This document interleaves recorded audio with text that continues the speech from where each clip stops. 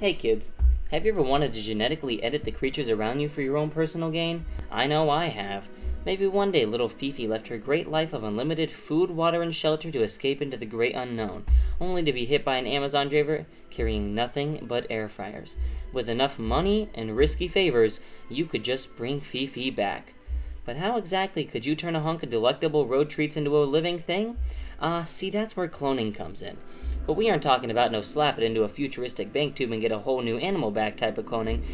We are talking about a very precise technique known as somatic cell nuclear transfer. But before that, I have to talk about the cloning techniques our forefathers used.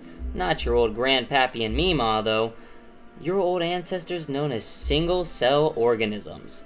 That's right, these little chunks of phlegm and whatever else were the inventors of this innovative technique. This is the first kind of cloning, in which one cell uses the good old technique of binary fission to essentially split itself into a perfect copy of itself. Scientists saw this and were like, whoa, and were filled with determination and will to discover how they could one day harness this great power. The first person to actually do it was a man named Hans Adolf, not that one, Drew, Edward Driesch, who discovered that by shaking two sea urchin embryos, much like you would shake any child, you can split them into two completely similar sea urchins after birth.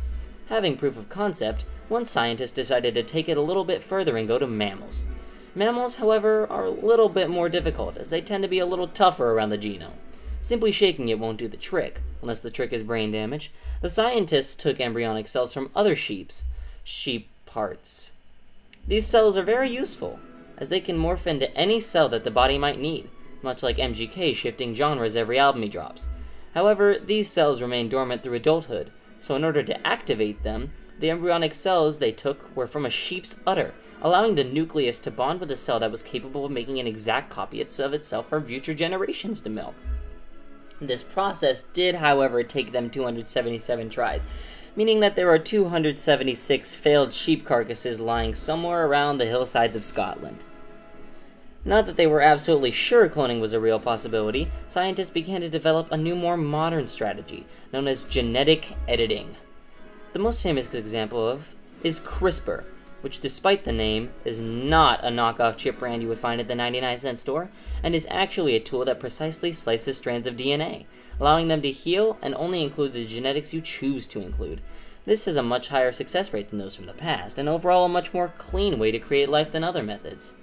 That's all for today. So remember, kids, if you want a brand new Fifi, you may as well have 276 rotting corpses instead.